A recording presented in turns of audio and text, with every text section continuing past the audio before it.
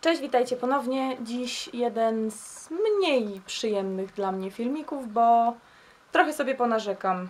A mianowicie będzie to raz, dwa, trzy, cztery, pięć, sześć rzeczy, których ponownie nie kupię. Y, Nie mylmy tego z bublami, ale ja po prostu tego ponownie nie kupię, bo nie chwyciło mnie to za serce. Już kiedyś zresztą to w poprzednim, takim samym filmie tłumaczyłam. Pokażę Wam sześć produktów, których ponownie nie kupię i powiem Wam, dlaczego ich ponownie nie kupię i dlaczego one u mnie się nie sprawdziły. Także pierwszą rzeczą i tak naprawdę największym rozczarowaniem całej tej szóstki jest tusz. Jest to tusz L'Oreal Volume Million Lashes. Nie wiem jak to przeczytać. Feline, feline. Ten zielony, nowy. Jest to tusz, którym pokładałam wielką nadzieję, że będzie wow, super, tak jak So Couture, So Black i tak dalej. W ogóle tu mi się wdziera y, dziwne światło, bo jeszcze słońce jest zazdro- zazdrosne o, o tego softboxa, którego mam teraz, jak na złość słońce świeci. Ma fajną, wygiętą szczoteczkę, silikonową, tak jak So Couture, Black, czy ta pierwsza wersja Volume Million Lashes, czy ta XS y, czerwona. Tamte wszystkie były dla mnie świetne. Ta dla mnie niestety, ja już więcej nie kupię.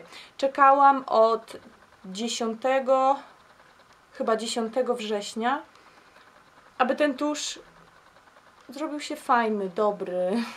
Nie wiem jak to jeszcze powiedzieć. On jest bardzo oleisty. W składzie podobno ma olej arganowy. Zapach ma taki no trochę śmierdoli dla mnie, trochę śmierdoli. Kosztuje kupę kasy, chociaż wyrwałam go w promocji, ale ponownie nie kupię, ponieważ tak, jest bardzo mokry, bardzo się brudzę podczas malowania. Mam te rzęsy dość długie jednak, bardzo się brudzę. Długo schnie. Okej, to takie minusy najpierw idę. Długo schnie i daje tak marny efekt na rzęsach, skleja. Ja oglądałam testy tego tuszu i ja nie rozumiem, dlaczego dziewczyny malowały rzęsy. Widzę, że wygląda to tragicznie, są posklejane, dziwne, takie sterczące krzywulce, a one mówią wow, efekt wow. Nie, to jest efekt ble, nie wow. No i jestem strasznie zawiedziona, że, że ten tusz tak mi się nie sprawdził i później wrócę z powrotem do sołku, który so black. On dalej jest, ja nim maluję dolne rzęsy, bo on mi się w ogóle nie odbija. Na górnych rzęsach mam teraz Smart Girls Get More 4D, ale no stoję i maluję i maluję. Jak już jedna warstwa zaschnie, wygląda to nieciekawie, dokładam drugą, po czym te rzęsy się strasznie sklejają, nie chcą się tak jakby ułożyć.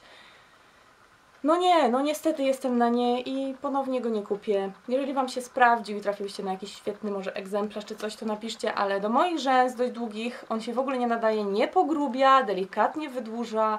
Te rzęsy są oblepione tym tuszem, ale nie ma żadnego efektu, rozumiecie o co chodzi? Jedyny plus to to, że no nie odbija się i, i nie znika z rzęs w ciągu dnia. Także pierwsze moje ponownie nie kupię.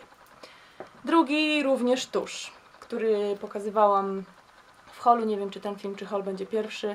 Smart Girls Get More, ja teraz testuję przeróżne tusze, tańsze będą, droższe, będę Wam mówiła, które są dobre, które są do dupy. I ten akurat jest do dupy. Ma zwykłą szczoteczkę, taką standardową, włochatą, o przyzwoitym rozmiarze, ani za duża, ani za mała.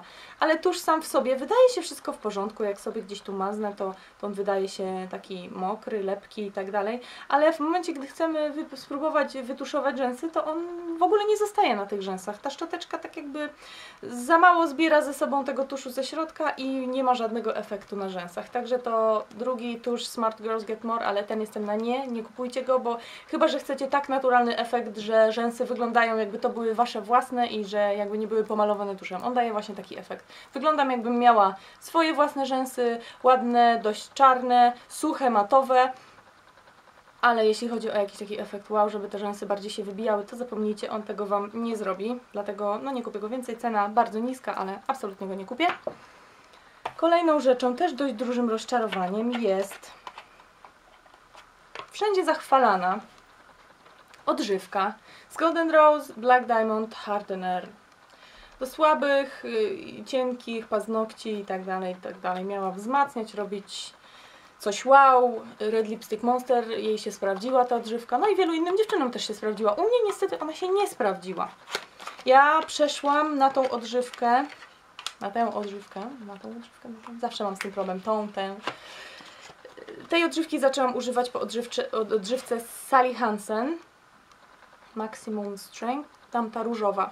Ona mi już niestety bardzo zgęstniała, zaschła, była dobra, wiecie, że ją lubiłam. I myślałam, że to będzie coś jeszcze lepszego. Jest przezroczysta, ma szeroki pędzelek, dość długo schnie na paznokciach, wcale nie przedłuża żywotności lakieru na paznokciach, ja tego przynajmniej nie zauważyłam. Ale ona niestety nie zrobiła z moimi paznokciami nic.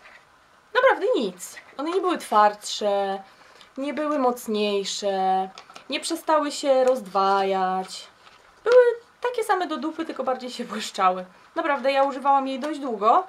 No i już się poddałam, bo bez sensu nie widzę w ogóle żadnej różnicy y, używając bądź nie używając, więc bez sensu, żebym to używała. Może oddam to komuś, komu się to sprawdza. Zapytam znajomych, czy ktoś tego używa i czy chce to, bo, bo, bo ja to po prostu wyrzucę, podejrzewam. Używam teraz, jak wiecie, odżywki z, Be- z Bell, z Biedronki i ona jest y, milion razy lepsza moim zdaniem od tej. Obie nie mają formaldehydu, także cena też jest tamta, chyba połowa ceny tego. Także to jest moje kolej, kolejne Oh God Knows. Kolejną rzeczą, a może o tym powiem, to też jest takie dość, wszystko to jest rozczarowaniem, bo skoro kupujesz coś, a dzisiaj nie sprawdza, no to jesteś troszeczkę rozczarowana, prawda? Kolejnym takim produktem jest y, Alterra, aż dziwne, Alterra, a dlaczego powiem, dlaczego jest rozczarowaniem? To jest krem mm, pielęgnacyjny Granat Bio 50 ml. Kupiłam go po tym moim kremie, y, tym wcześniejszym, który używałam na noc i kupiłam go, żeby go stosować również na noc. Pięknie pachnie, jest taki treściwy. Jego powinno się chyba na dzień używać, prawda?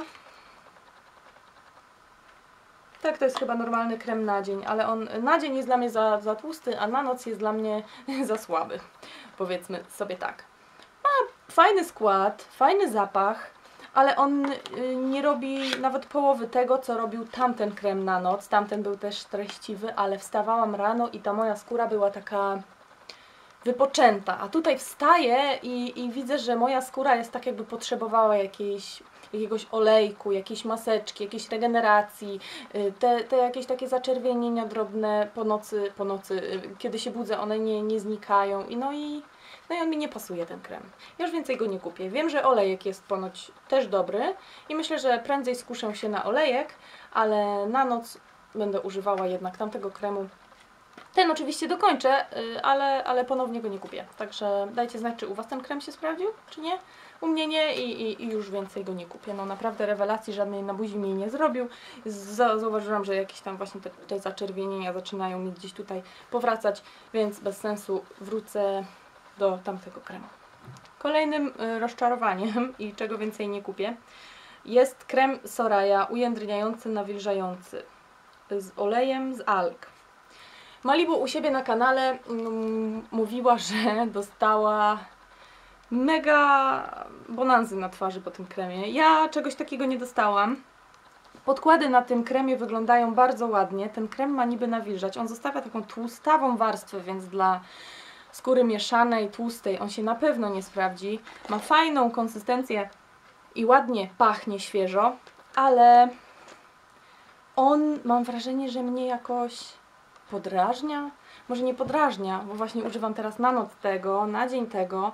Zbyt wiele go nie, nie zużyłam i myślę, że nie wiem, czy dalej będę go używała do twarzy, bo nie chcę sobie zrobić jakiegoś kuku.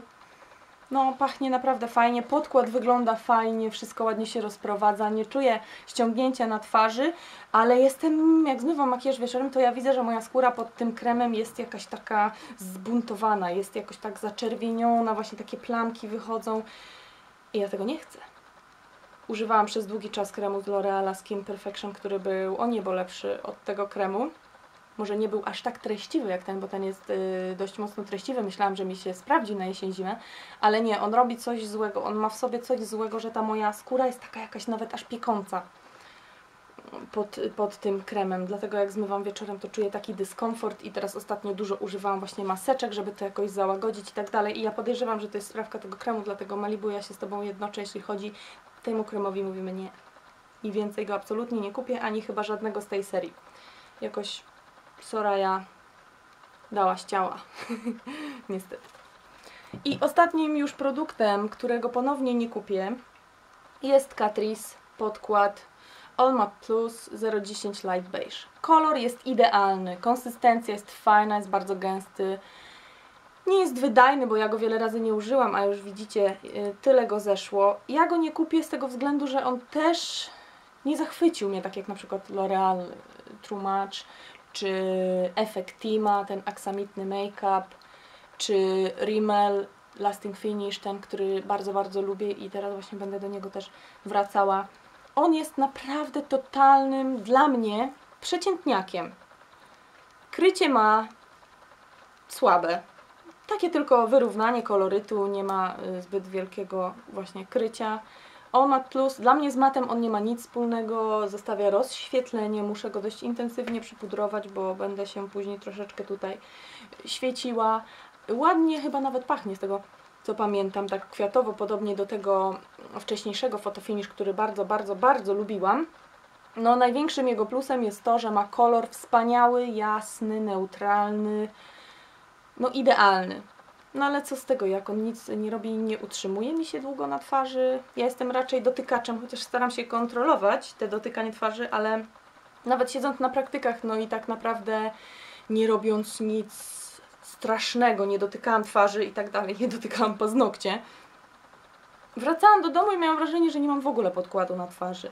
I jeszcze gdzieś tam jakieś tam świecenie. Dlatego ja już tego podkładu więcej nie kupię. Prędzej kupię Rimmel czy Effectima, jeśli jeszcze będzie. Ale tego już nie kupię. Dajcie znać, czy u Was się sprawdza, czy nie. Sądzę, że jeżeli coś jest tak bardzo przeciętne, to, to nie ma po co do tego wracać, tak? Wracamy raczej do tych kosmetyków, które nam się super sprawdziły. Także to było sześć moich historii kosmetycznych, do których nie powrócę. No naprawdę jest mi tak żal, że ten tusz jest do dupy, że no aż nie macie pojęcia. No tyle czekałam, żeby się zrobił. No nie daje żadnego efektu, no trudno. No widzicie, jak ja to rozpaczam strasznie. Także to by było na tyle. Dajcie znać, czy coś z tych rzeczy macie Wam się sprawdziło lub nie sprawdziło, czy macie podobne zdanie, czy zupełnie inne. Jestem bardzo ciekawa i widzimy się w następnym filmie. Trzymajcie się, cześć!